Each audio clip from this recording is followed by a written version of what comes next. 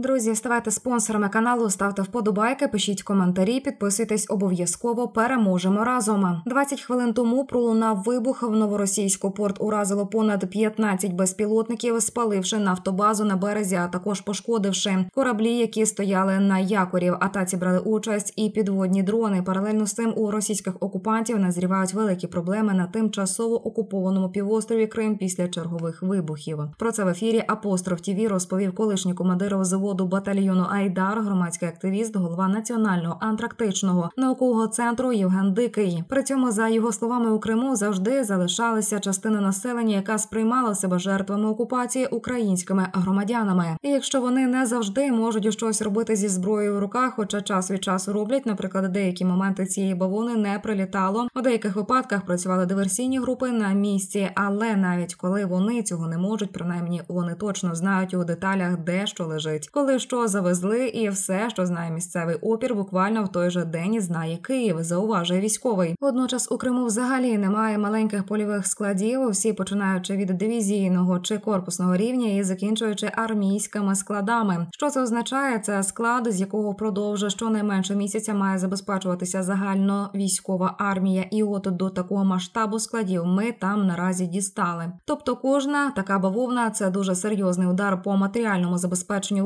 воюючого групування Росіян на півдні України, бо їм все везуть малими порціями з великих складів Криму. І ось до цього джерела ми дісталися. Я спеціально кажу острів Криму, бо з військової точки зору він є островом. Розповів він. Якщо ЗСУ вийдуть на оперативний простір півдня Запорізької і Херсонської областей, скільки б окупанти не наглали людей на сам цей острів, тримати його практично нереально. І росіяни це усвідомлюють власне, тому в них такі нерви істерика. Їхній єдиний шанс надовго зберегти за собою Крима. Це якщо вони зараз утримують фронт на Запоріжжі. Якщо тільки ми виходимо на Мелітополь і Скадовська, все Крима прострілюється просто весь. Місто тоді ліквідується по-любому, і в такому разу без підвозу БК, без евакуації поранених і з дуже обмеженими запасами навіть продовольства і води, який би контингент там не зібрали, він не утримається. Повідомив Євген Дикий. До зустрічі, друзі. Ставайте спонсорами каналу, ставте вподобайки, пишіть коментарі, підписуйтесь